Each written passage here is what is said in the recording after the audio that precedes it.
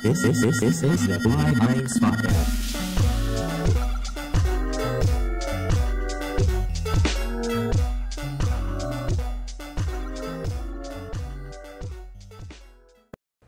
Okay, and we're back. Um, hindi po kayo namamalikmata, kami po to uli. And ang difference lamang ay we are now gonna talk about the Boston and Cleveland series. But this is still what are the odds with Lawrence Lawrence from Dobinons and uh, this is your host Kulay Himes H A Y M Z from the Kulay Himes podcast. And yun nga ang pag-uusapan naman naman natin dito pagkatapos natin pag-usapan yung game nakakatapos lang kanina is the other side of the series Eastern Conference Finals where the Boston Celtics are one win away from the NBA Finals na medyo honestly, I don't think anyone gave uh, Boston Celtics uh, a chance. If you ask start ng playoffs, sino bang aabot dito sa East uh, sa finals or masasabi mo ba na Boston would have this opportunity na isang panalo na lang sila na yung makakapunta sa finals. I don't think you'd be able to talk to anyone na or marami kang makakausap na magsasabi na Boston would be in this um, position. Lalo na against the King, against uh, LeBron James who has dominated the East for, I don't know, hindi ko na nga mabilang kung ilang years niya nang dinodominate ang East. But yes, anyway, uh, yun, yun yung pag-uusapan natin ngayon. Maybe we can talk about a bit on uh, what happened last uh, last game. Yung tinambakan na naman yung Cleveland dito. Uh, third game na Boston tinambakan sila. Actually, lahat naman ng games dito, hindi dikit eh. Wala kang masyadong, mm. hindi tulad nung kabila. Uh, talagang dikitan. Pero dito, tambakan lahat. Do, do you see it any different uh, for game 6? At least, wag na muna nating isipin na may game number 7. Pero, do you think game 6 would be closer or would it be another, you know, blowout uh, in Cleveland? I think we're due for a close game and tingin ko kaya ng Boston dumikit sa game 6. Ano yung for... spread? Ano yun? Ano yung spread Sorry? dito sa game number 6? Ano ah, the spread uh, plus 7 yata yung Boston. Hmm, malaki rin, ha? Malaki rin. Oo. Uh, three possessions din. Well, well, I don't blame the odds makers for making that kasi every home team basically beats the other. Team. Every home team uh, wins. Tapos mm. nga, sabi nga natin, tambakan talaga tong uh, mm. nangyari dito. So maybe they they, they are leveraging dun sa Expecting. sa history. Oh. Oh, oh, oh. Pero Kaya, you think it's, it's gonna be a close game? But do you think Boston can pull it out or may game 7 tayo? Uh, think ko may game 7 tayo. Feel ko lang may game 7. But uh, hindi hindi to magiging like tambakan. Mm-hmm. Uh, yun lang ang feeling ko lang. Ah. I'm not sure. But yun ang, yan ang tingin ko. Kasi yung Boston showed parang they're very resilient eh. Uh, tsaka yung team nila very well coached. Makikita mo kahit na actually nung game 4 nung natambakan uh, well tambak sila pero makita mo uh, fourth quarter, they cut it down to 8 or 7, I think. Mm-hmm. At one point, bago sila medyo natambakan ulit. Pero makikita mo, they, they don't like give up na, oh, tambak na tayo, sige, uh, puna. Pahinga na. na natin. Parang gano'n. Next, next oh, game na lang. parang next game na, next game na lang. Makita mo talagang uh, yung mentality nila because of their coach siguro, di ba? Na, sige, kaya laban talaga. And makita mo their def- their defense um yung execution nila they got uh, they got better. Kaya nakadikit sila. Before yun nga uh, well Cleveland kasi LeBron will be LeBron.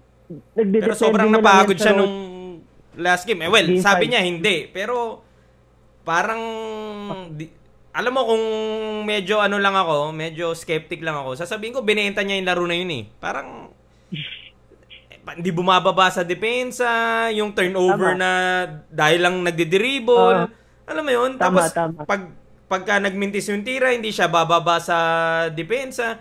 Parang binibigay Parang niya talaga. walang Although urgency. given, Oo. given na tambak na yung, yung team niya. Pero yung body language niya sobrang sama eh. Hindi tulad nung yun nga, sinabi mo at least yung Boston, pag tambak sila, hindi, habol tayo hanggat, hanggat kaya, go natin. Para bang siya, Tama. ang dating sa akin, nako, hindi na to kayang game 5, ah panalunin na lang natin game 6, tas doon ko na lang ibubuhos sa Tama, game parang- 7. Parang ganun yung... parang ganun na nga yung nangyari. Iniisip ko na lang na Mm. ganun para ayoko kasing isipin na syempre Lebron yun. Ayaw mo naman na isipin na binenta niya yung laro or sinadya niyang magkaroon ng off game dahil sobrang uncharacteristic yung ginawa niya ng game number 5 na iningal siya eh. Or, yun nga, eh, he, he looked very exhausted sa bench, on the court. And I think sabi rin ni Tai Lu, uh, in- he, he also felt na medyo napagod nga tong si si LBJ dun sa huling laro. Pero we'll see kung syempre at home medyo mas ganado naman talaga yan, home cooking, uh, back back sa teritoryo nila. Pero yung game number 5 parang wala eh. Never never sila nagkaroon ng chance to even win that ball game eh. Mm. Tama. Sa well, sa Cavs naman depende lang 'yan sa role players talaga eh. Kung kung may tutulong sa kanya one to two guys, ah dikit na 'yan for sure yung laban.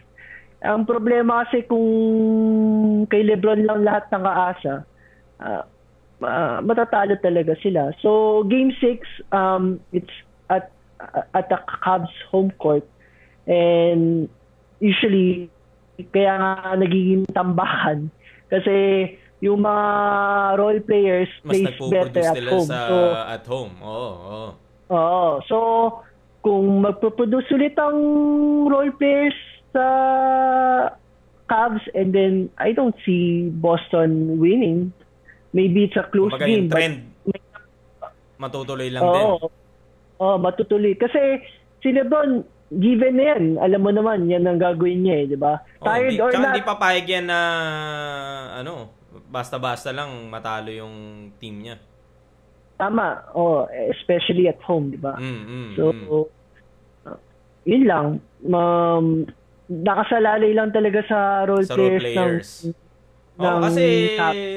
pero ewan ko, kasi Boston 1 and 6 din sila sa sa road tong Tama. tong playoffs eh. So talaga. they, they're really having a hard time din on the road. Dun sa Milwaukee series, lamang din sila dun 2-0 tapos binigay Oo, lang din nila eh. Nagpatalo lang din sila sa 3-4 sa Milwaukee eh. And then umabot pa ng game 7 nga yung series na yun. They, the, the lone win that they had was yung win nila sa Sa Philadelphia. Philadelphia. Mm, mm. And Pero, it was a close game din. Oo, overtime. nanalo Overtime sila yata one- yun.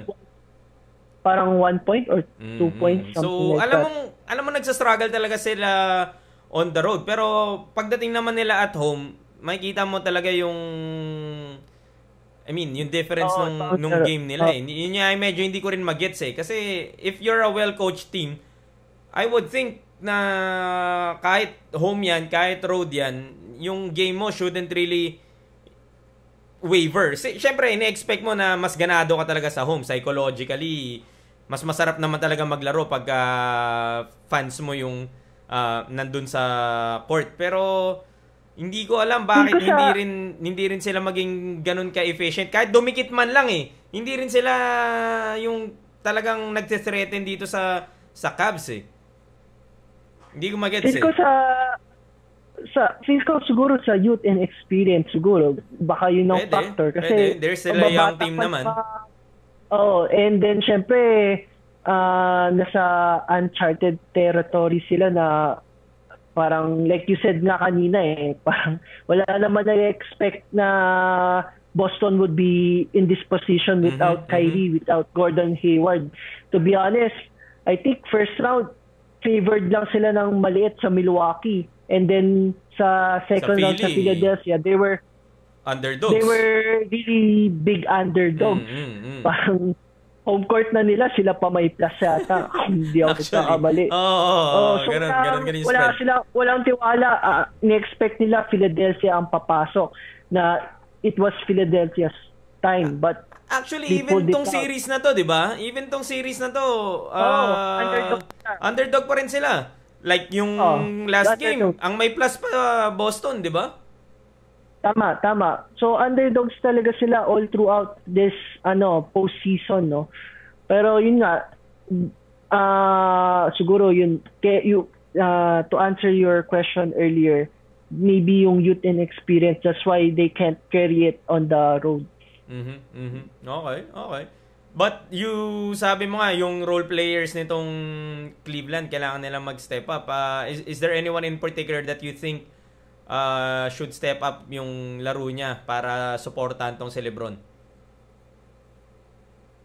Well, J.R. Smith, uh, he's in the starting lineup for a reason. I think oh, sobrang struggle niya past sobrang two struggle, games. Sobrang struggle, uh, uh, past game, diba? Parang... Mas maganda pa nilalaro ni Kyle Korver kaysa sa kanya eh. Oh. Pero si Kyle Korver kasi maasahan mo lang siya sa off the like similar siya kay like uh, Gerald Green eh. Parang uh, makaka-expect ka sa kanya talaga ng 2 to 3 3 points per game, di ba? Parang yun ang expectation yun mo. Parang specialty of the house. Yep. Oo. So anything more than that, parang sobrang bonus na yon. Mm-hmm. So I think Corver was constant naman. Okay naman siya parang all throughout the series. So ang mangyayari na lang dyan sila J.R. Smith, si George Hill, uh, yung mga na, actually yung mga nasa starting lineup, di ba? Sila pa yung nagsastruggle. Oh, so tama, yun. tama. So yeah. you think J.R. Smith, uh, sabi nga nila, this guy's due for a big game. Pero para bang every game, feeling mo, yun na yung game na due siya na gumawa. Eh. So, hopefully, itong game 6. Well, alam mo oh. yun, parang, sige, due ka, pero hindi ka naman talaga pumutok like sobrang pumutok eh. Hindi ka yung tipong oh, talagang lumights out ka na sobrang init mo na nag-wild eh. Pero, which is, I think, yun yung ina-expect mo do kay JR. Very streaky siya na na shooter kahit minsan yung mga talagang tirang alanganin na nauhulog pa din. That that's when I think Cleveland is uh, really dangerous eh kapag uh, nagki-click nga tong si J.R. Smith. Kasi Kevin Love, I think you would get uh, the same level of production. Um, swerte ka na kung mag Minnesota Kevin Love version siya na gagawa ng 30. Pero kung merong pinaka-consistent in terms of uh, the supporting cast, I think Kevin Love is um, well, expected naman dahil big three pa rin naman sila problema, nung nandun si Kyrie. Kaso, sige, you, you were saying, ano problema kay Kevin Love? Problema lang kay Kevin Love kasi parang na-expose siya sa defense eh. Parang lagi siya yung inaatake nila, yep. Al Horford yep. nila, Marcos Morris. So na nafa-foul trouble siya. I think last game he was in foul trouble kung di ako nagkakamali. So kailangan, yun lang maiwasan niya. Uh, di siya makakatulong sa team if he's on the bench all the time kung nasa foul trouble siya. So yun lang siguro sa def- uh, not necessarily mean yung kailangan niya mag-step up on the offensive end, more, more on the defense na hindi siya foul ng foul and hindi siya like ma-expose nila Al Horford mm-hmm. or mm-hmm. guys that he got switched on, di ba? Okay, okay. So, we, we, yun, napag-usapan natin kung ano yung pwedeng gawin ng Cleveland, yung nga yung role players, uh, they need to step up. How about dito naman sa Boston? How do they keep it close or maybe even win it in six? Anong nakikita mong pwede nilang gawin on the road uh, to at least give themselves uh, a chance to yun nga, uh, go to the NBA Finals. Kasi kung mag-game 7 to, I, I, feeling ko parang alanganin pa sila dahil yung Game 7 version ni LeBron baka hindi nila mapigilan eh. So, I think itong Game 6 uh-huh. Kailangan hindi lang din to subukan lang natin kung kumaya. Feeling ko dapat dito ka nga bumuhos sa game number 6 eh. Parang ito yung game number 7 nila para sa akin eh. Dahil pag nagpunta ng game number 7 yan, feeling ko lalabas at lalabas yung yung difference in terms of LeBron James's dominance eh. Ah, uh, ito na, Sinend mo na, oh, pre. Oh, I think, oh, um, well, I, hindi, yung mindset ko hindi katulad mo na parang ito na yung game 7 nila. I, I don't think that's true kasi uh, undefeated pa ang Boston at home. So, I think yung game 7, it won't be a like conclusion na, oh sure, win na yung Cavs because monster si LeBron. Pero agree ako sa'yo na sa Game 6, they, may chance talaga sila to steal the game. Na pag ma-feel, lalo na early on, pag ma makadikit sila, makalamang sila ng konti, pa-feel mo yung pressure sa mga supporting cast nung Cleveland Cavaliers na, oh, this, dito magiging cakewalk, di ba? Mhm. Pagka na-feel nila yung pressure, maybe maano sila na, ah, nako, matiri nila, hindi na naman pumasok. Magre-rely na naman sila kay Lebron, which is beatable. Kung si Lebron lang ang kakalabanin mo, kaya, di ba? Mhm. So, yun ang feel ko kaya nila. Kung ma- makaka-steal man sila the game, they have to do it early para may jitters na... Kasi ibang ibang sa basketball, iba eh. Pagka lamang ka ng 20, tira ka, ang lakas Oo, ng kumpiyansa iba yung mo, kumpiyansa lalong mo nasushoot eh. pagka Lalo nasushoot eh. Dikit na Nako, Dikit. pagka Or- ako, yari, baka mahabol Malaki- kami. Ganyan, ganyan. Oo. Or kung nagmintis ako, hindi kami makahabol. Mm, matatalo mm. kami. Mm. Parang ibang ibang feeling eh. So Boston kaya ah kaya nila basta mag-execute sila and yun ang advantage nila. Alam nila there's a game there's a potential game 7 so yun At home ah pa nila. So, kumbaga, may, may ace in the hole. Oo, may is- pwede sila mag ah, mas maging aggressive, try lang nila, 'di ba? Kung ano man yung ano, para at least may safety naman sila. Yun ang but they have to do it early, hindi yung matatambakan sila tapos, Tapos sa habol, malabo yun. Okay, okay. Ma- malabo yun, malabo yun. Kasi ah, may kumpiyansa na yung Cavs to begin with and syempre LeBron fin- uh, he's the best player on the court so you would think he will finish it. Oo, oo. Delix, para sa akin lang talaga, itodo mo na rito. Itodo mo na rito. Ay- ayokong, ayo ang kaya ko lang nasabi na parang ito na yung game 7 nila. Kasi gusto ko isipin nila na ah, ito na Tama, yung tama. game 7 sa'yo. Kasi pag inisip mo na, hindi, hindi, babalik naman tayo sa at home. Unbeaten tayo sa home so far. Tama. 'Di ba? Para ewan ko, parang ayoko na bigyan ng chance pa na na kahit sabi mong home court mo 'yan, iba yung iba rin yung pressure sa noon. Sabi mo nga kanina, young team, inexperienced. Mm.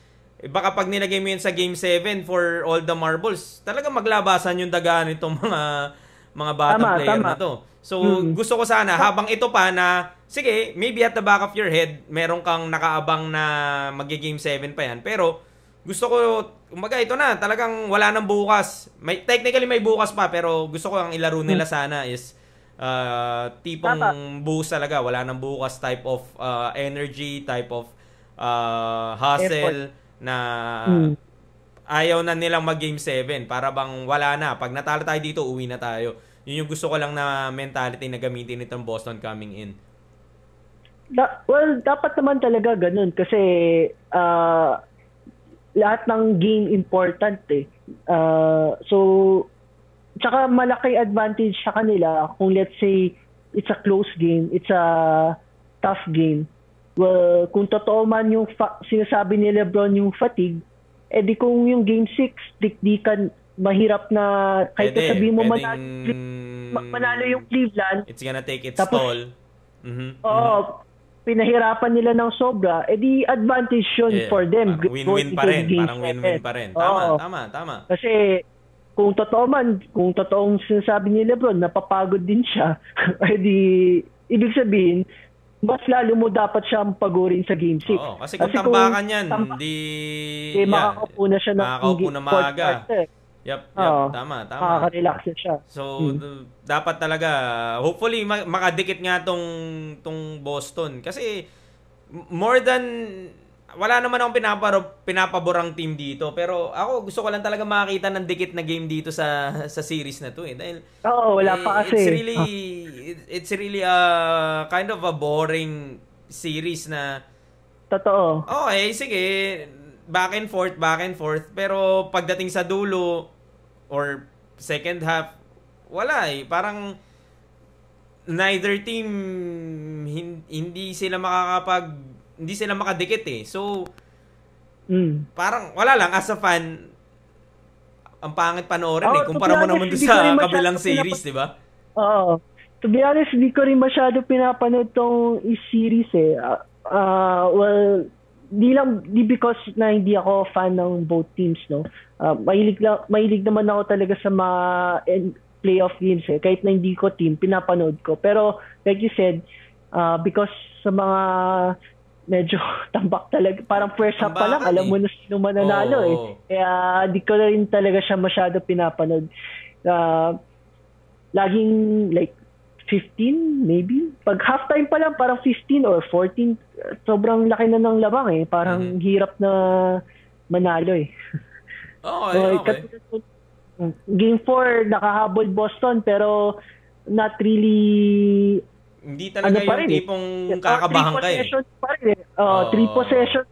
Parang na, oh, from 20, nagawa mong 8 pero 8 point lead, malaki pa rin yun oh, eh. Oh. Ina, mukha lang, mukha lang Dumikit, oh, kasi Dumikit kasi galing sa malaki, oh, oh. Pero, pero nag-threaten ka ba talaga? Hindi rin eh. Hindi rin eh. Uh, yeah. Uh, Alright. So, yun. So, so siguro, last couple of things na lang. Anong, anong prediction mo dito? Sabi mo nga, game number 6, uh, dikit, but you see it going to game 7. So, if mag game 7, does Boston take this or is it another trip to the NBA Finals for the Cleveland Cavaliers? Game 7, ako, Boston ako, Boston ako. Pero walang ano to, isip ko lang, tingin ko kaya nila i-pull off. Kasi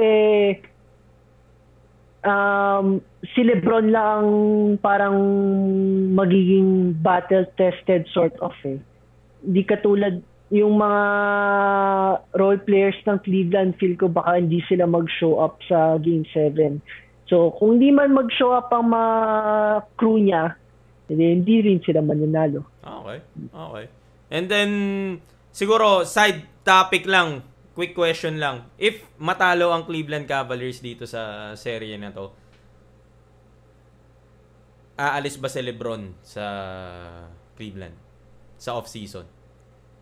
I think uh o feeling mo lal- kahit makapasok sa finals basta hindi sila mag-champion aalis siya. Oo, oh, alis si, alis si LeBron for sure. Even feel ko kahit na mag-champion mag well, malabo naman malabo sila mag-champion. Malabo sila mag-champion. pero uh, let's just say manalo matalo sa Boston Celtics alis si LeBron. I think right. okay. uh, nagpaplano na siya kung kaninong super team siya sasali. Tsaka kung sino yung mga i-recruit niya pagka uh, lipat niya dun sa team na yun. Mm sure ko alis na siya kasi wala na eh. Uh, di naman niya kaya, di naman siya bumabata and pag tinignan mo talaga yung supporting cast ng Cleveland Cavaliers na nawala na si Kyrie ngayon, uh, mas mahina na talaga. Yep, sobra. Sobrang mas mahina. Uh, kaya nga parang kahit papano, bibigyan mo pa rin siya ng props na nandun pa rin siya eh. He is still able to uh, bring his team to you know a, a chance to to be in the finals once again. So I guess it's a it's just a testament sa greatness nga nito ni The King.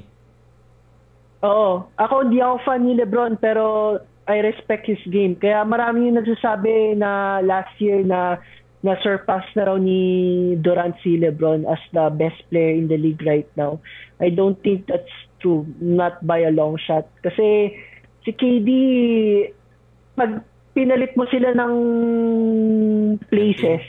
Isip, oh, sa team. Pag si Lebron nilagay mo sa Warriors, si KD nilagay mo sa Cleveland, I don't think ba malamang playoffs pa rin because they're in the East, di ba? Pero mm-hmm. hindi yan aabot ng Eastern Conference Finals, I think. Kung si KD ang naglalaro sa sa Cleveland. Pero itong pag si Lebron ang nasa Warriors, kas- kakampi niya si Steph, si Clay, si Draymond, I think baka mas malaki pa. Oh. Mas lalo pa silang favored. Mabibit pa nila yung mas mal- 73 Win season na lang, 72.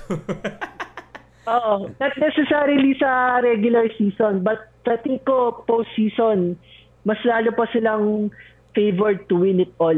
I think kung si Lebron ang nilagay mo doon. Kasi bagay din ang laro ni mm, Lebron mm, sa ano eh. 'Di ba? Like I said kanina, uh, imagine mo si Steph and si Clay ang spot up shooters. So, sarap ng buhay niya nun. Sobrang sarap niya ng, bu- oh. ng buhay ni Lebron nun. Hindi na siya kailangan oh. humapit every game hindi lang sa hindi kailangan humapit eh. Every time na mag-drive siya, yung kinikick outan mo to two of the best shooters of mm-hmm. all time, mm-hmm. parang paano ang hirap, 'di ba? Okay, so you see LeBron leaving regardless. But uh, we'll see. That's another topic all in itself. Pero for mm-hmm. this particular topic, uh, another uh, wrap up dito sa ating episode and uh, again, thank you ulit Lawrence, uh, second time around, no? Uh, back-to-back um, discussions for both the series.